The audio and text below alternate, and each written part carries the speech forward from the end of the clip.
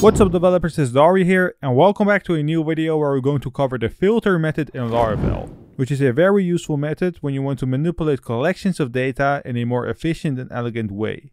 Let's first define a new variable named collection and let's set it equal to the collect methods. We're gonna pass in an array right here with four integer values. So let's say one, two, three, and four.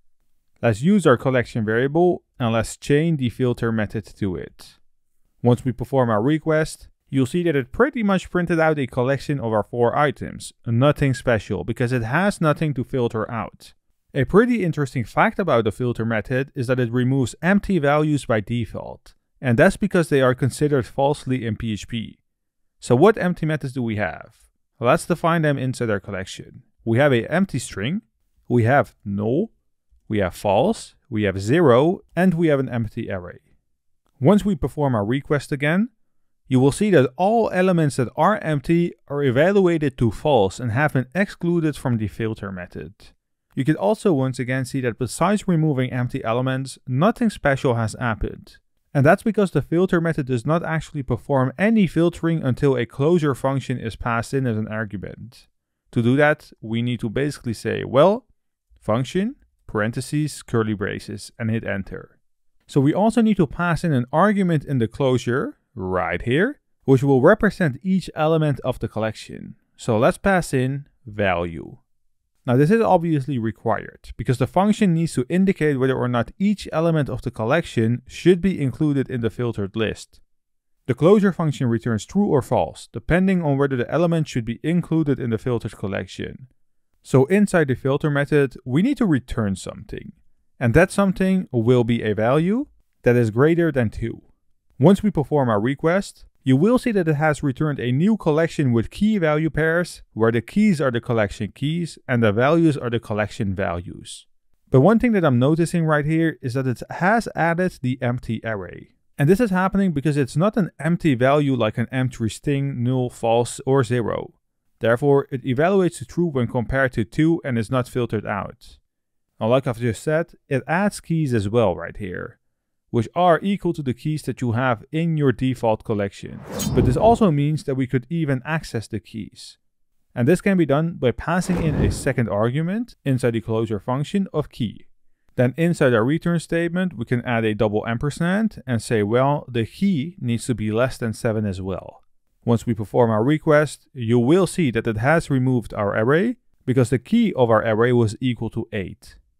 So you might wonder what the biggest difference is between the filter and the where method, because the functionality we added right here could also be performed with the where method. The filter method returns a new collection with only the elements that pass a given truth test, while the where method filters the collection by a given key value pair. In other words, the filter method is more flexible and can be used to filter a collection based on any condition, while the where method is more specific and is used to filter by a specific key value pair. Now let's remove what we have done right here and let's have a look at a more advanced example. Let's say that we have a new variable named articles and we're going to use our article model, the where method, and we're going to get the count.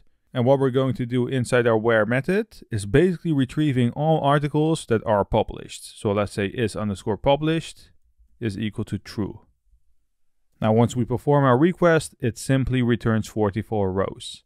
So this works fine. So let's replace the count method with the get method. And since Eloquent returns a collection, I want to use my articles variable and I want to chain the filter method to it.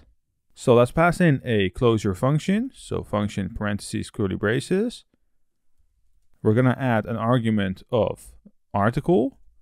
Then inside our filter function, we're going to return the article where the minutes to read is greater than 8.